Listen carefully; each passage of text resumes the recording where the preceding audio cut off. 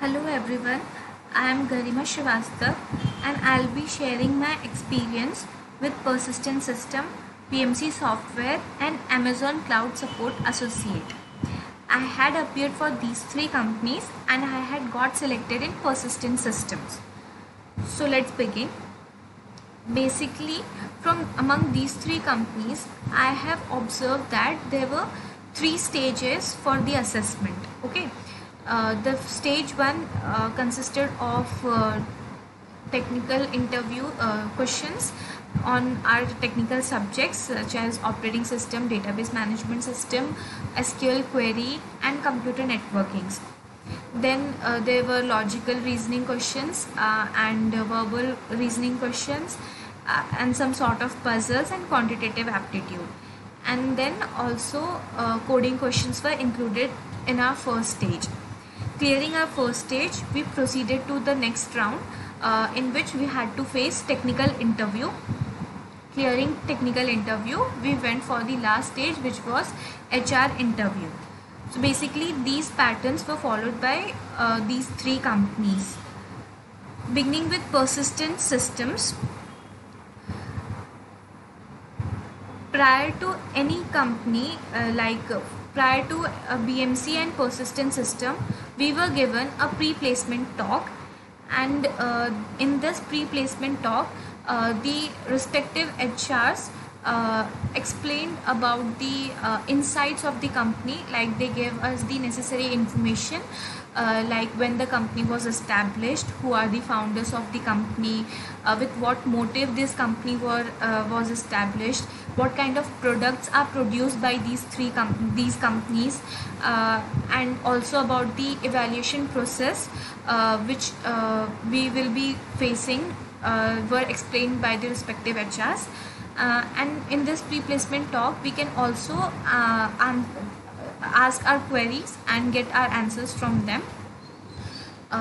So we were uh, we were given uh, the pre-placement talk for persistent systems and BMC software. Uh, now uh, persistent system uh, as i said there were three uh, stages. Uh, first stage was uh, objective and subjective question. Now in a persistent there were three section first section included technical questions on our subjects like like operating system database management system sql query and computer networking. Those questions were straightforward questions uh, and uh, were on a pure uh, were based on were conceptual questions okay? So for clearing this stage you have to uh, be aware of uh, be strong enough in your concepts among these subjects uh, so I believe that whenever these subjects are, as soon as these subjects are introduced to us in our semester, we must prepare them, them accord, uh, at that time itself. We must prepare our notes properly and um, and during the time of placements, we must revise these uh, revise our notes okay uh, so prepare these subjects as soon as they are introduced and these are important if they are not not asked in the online assessment uh, they are asked in technical interviews also. So you must be prepared with the concepts of these subjects. So section 1 in case of persistent was on these uh, topics. Section 2 was on uh, logical reasoning verbal reasoning quantitative aptitude and also some sort of puzzle questions were there. Uh, so for preparing uh, these questions were also uh, from easy to medium level and uh, uh India Bix, Sanfoundry and RS Agarwal uh, these are sufficient resources for preparing uh, for such topic. And then the third section was coding section in which there were two coding questions and we were given a time of one hour. Within one hour we have to complete both the questions uh, in my case, these questions were on array and string topic and they were easy to medium. Like one question was easy and the second question was at medium level. Uh, so uh, this was uh, the phase one of persistent system. Now from these, uh, from this objective and subjective round, uh, the top performers were selected and uh, they were given a chance to move towards the advanced coding round.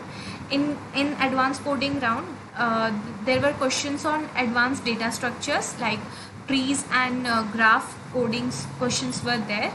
Um, and then we have to give technical and hr assessment uh, if we if we are not in the top performer list but still we clear the objective and subjective round we we are eligible for base package and uh, we go for tech we have to give technical and hr interview for that uh, package.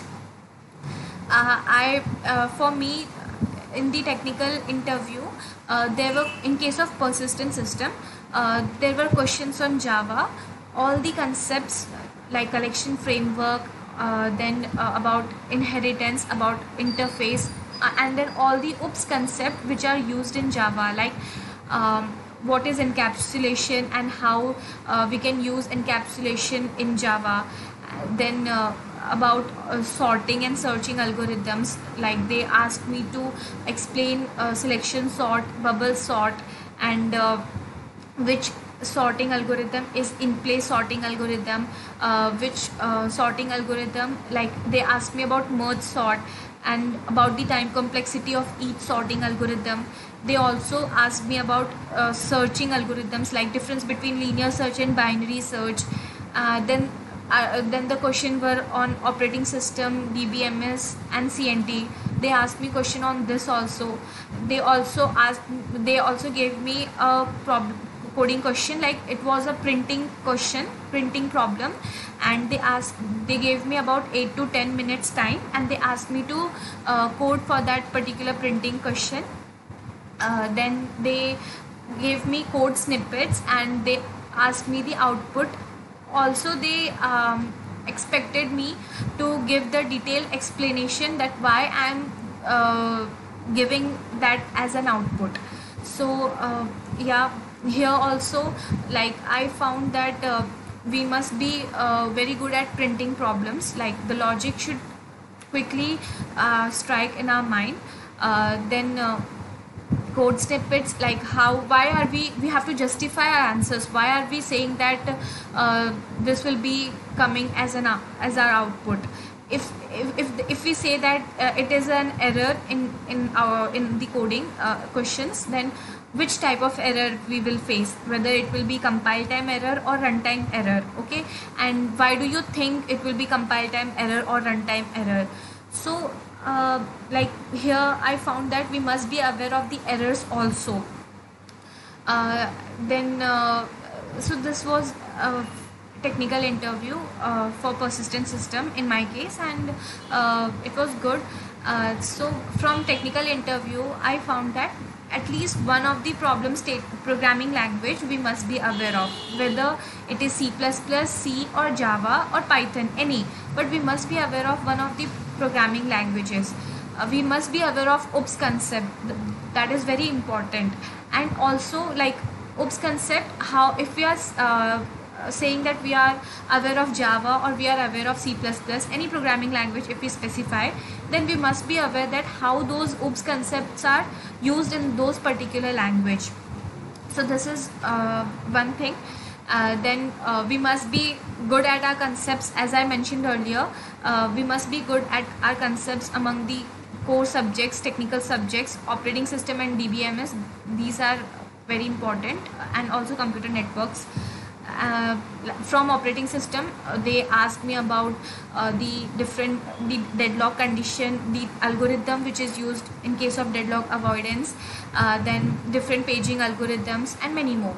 And in case of networking they asked me about osi model tcp ip model uh, the different protocols used at different osi model. So yeah we must be aware of them uh, also i found that uh, printing programs were important. Like we must be getting the logic quickly in case of uh, printing programs. Uh, then uh, uh, so yeah.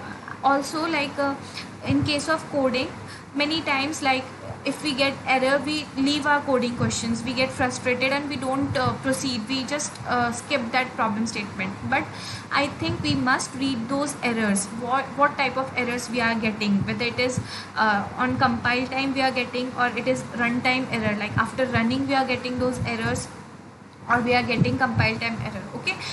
Understand like the it, uh, the errors are mentioned with the like line errors also like at which line number these errors are occurring. So we must uh, look at that line numbers. We must check our code at that line number. What had what mistake we have done over there. Uh, like if we are using array and uh, we are getting error at line num- at that line number we must uh, see that whether we are using that index properly. Like we are not putting any uh, out of range value in case of array subscript right? So we must read every errors and we must try to solve errors. We, we must focus on our errors. And we must be happy to get error because the learnings which we'll do after getting the error will last longer than the learning which we just have done simply okay? So you must focus on the error. You must study your error and you must try to get your solution of that error. Don't just leave the errors and get frustrated. No you have to learn about the errors which you are getting. Like segmentation fault is the most uh, segmentation uh, uh, fault is the most famous error i could say that every we we one we all must have uh, went through at least once okay? So if we are getting segmentation fault check the line number at which we are getting the segmentation fault. Go over there look whether we have taken array and check whether any out of bound value we are giving or not. If that line if that if at that line number uh, pointer like uh, if we have used any pointer then check whether the pointer is not getting null value or like uh, not uh, overflowing in memory like if we are using recursion and uh, we have not given proper base condition then also we get segmentation fault. So you must be aware of the errors.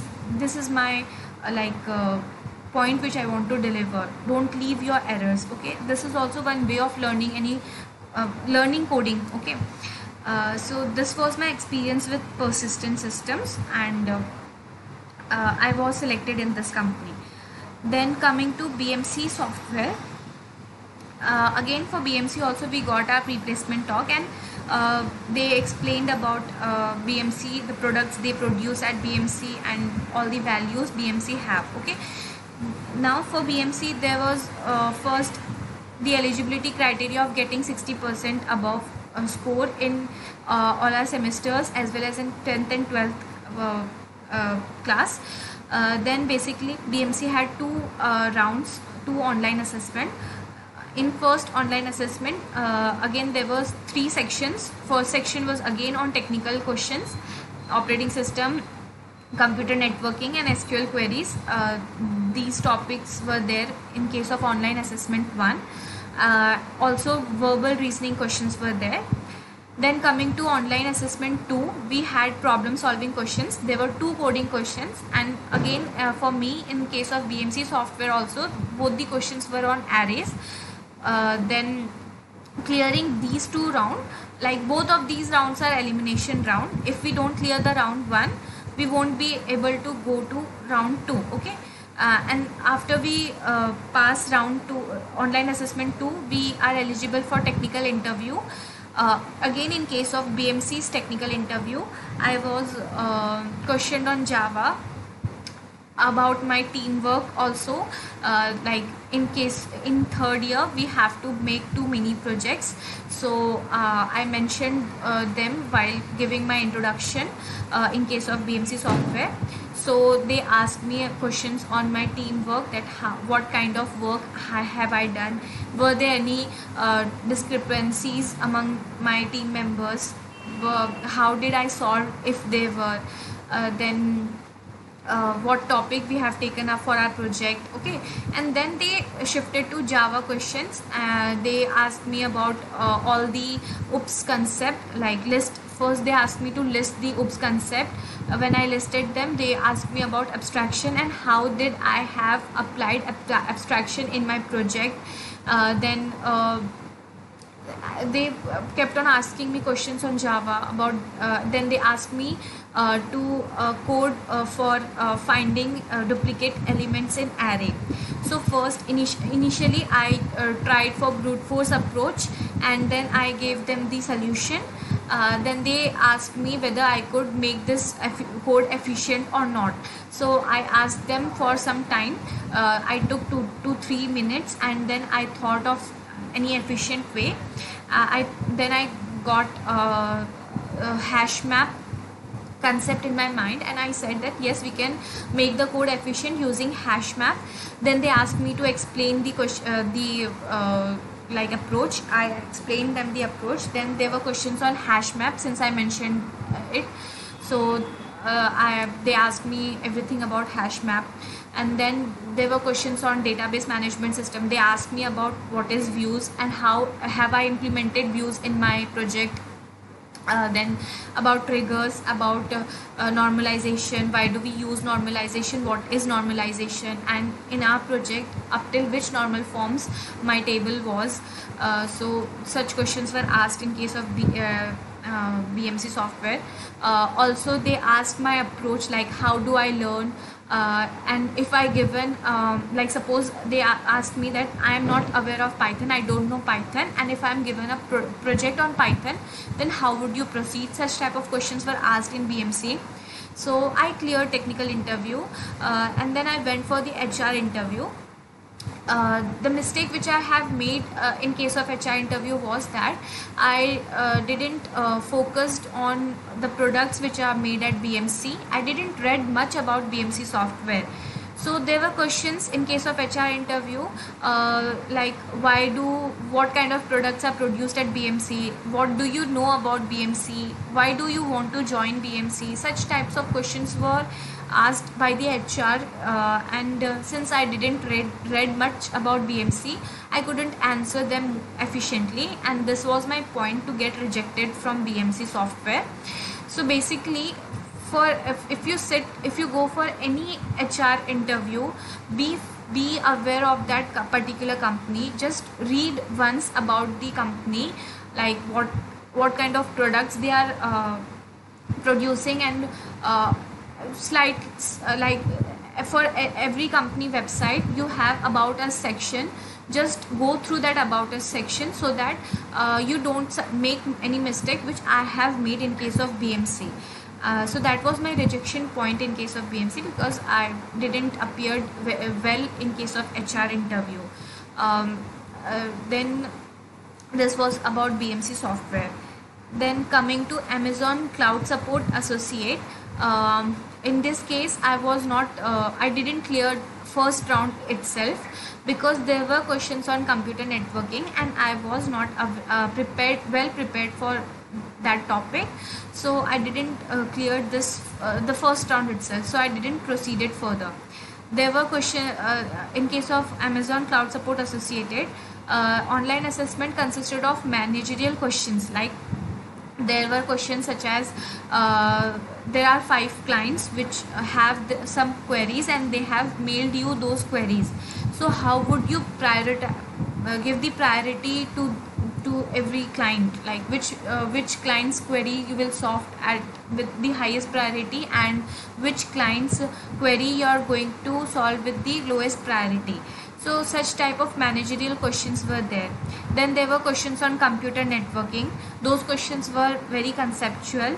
And then and last section was about personal evaluation. Like they asked about how much like they asked us to rate ourselves in different domains. Like how much are we confident in case of, of uh, AWS cloud like how much are we aware of AWS cloud? And there were five points among those we have to rate ourselves. So such types of questions were there in personal evaluations. Then interview since I didn't go uh, for the interview round I don't know much about interview round. But uh, yeah this was my experience with Amazon CSA so basically uh, as I mentioned that there were uh, similar patterns among all these three companies. Like in case of round one there were uh, three sections technical questions on technical subjects then questions on quantitative aptitude and then coding questions. So you have to prepare with these three topics for round one. Then uh, okay. For preparing technical subjects uh, you have to refer geeks for geeks website. Uh, you can solve mcqs from Sanfoundry and geeks for geeks website. There are very good uh, resources for technical subject preparation. They have plenty full of mcqs available. And uh, geeks for geeks is uh, best resource for uh, getting the proper theory. So you can make your notes referring to these uh, like referring to geeks for geeks uh, and do time to time revision on daily basis. Do not leave your notes as uh, after preparing it do not just leave them. Uh, give them a timely revision because you have to remember all the concept and your revision will make your concepts more clear uh, then for quantitative aptitude, uh, you can refer IndiaBix, uh, you can refer RS Agarwal, also Sanfoundry. These resources are sufficient. Uh, yeah, I want to mention that for quantitative aptitude, uh, please focus on short tricks more. Don't like with traditional mathematical approach, we can solve the problem we can solve the questions, but we must learn the short tricks to solve any pro- any questions okay?